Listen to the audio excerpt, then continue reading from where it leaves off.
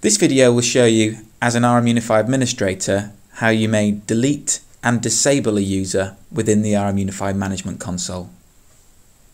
For schools using Active Directory Sync for RMUnify, you should continue to amend, create and delete records within the Active Directory. These changes will be synced through to RMUnify. For those that aren't, you can perform delete and disable functions in the Management Console.